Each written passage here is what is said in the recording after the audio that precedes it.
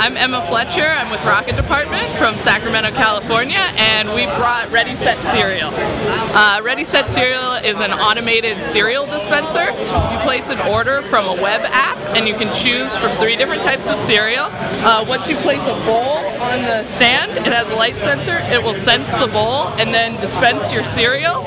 Um, it also has a spoon dispenser, and there's a milk dispenser too. Um, we made it for a hackathon, actually, uh, Cereal Hack 4 in Sacramento.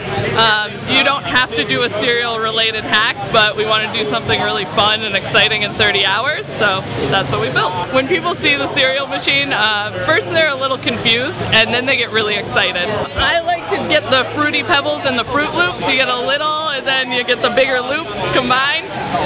The Raspberry Pi is used to drive the stepper motors. It also pulls the order from a MySQL database, so that's how we track all the orders coming in. Um, and it also controls the light sensor, the temperature sensor for the milk, and the servo motor for the spoon dispenser.